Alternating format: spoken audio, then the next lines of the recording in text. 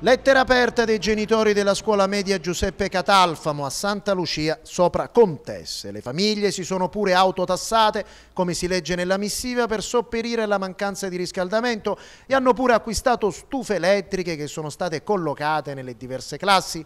Prima dell'inizio dell'anno scolastico la dirigente del Catalfom aveva posto al comune i problemi che affliggono il plesso tra le richieste dei genitori, la mancanza di banchi, di sedie e soprattutto di un impianto di riscaldamento funzionante e adeguato alle esigenze.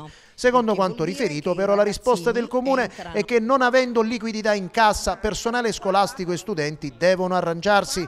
La dirigente ha comunque rimosso le stufette elettriche per ragioni di prevenzione e sicurezza che non consentono l'uso. I genitori, nella lettera aperta, chiedono adesso a tutti gli organi interessati di chiarire la situazione e di prendere provvedimenti urgenti. Le famiglie annunciano già clamorose proteste se non riceveranno risposte entro pochi giorni.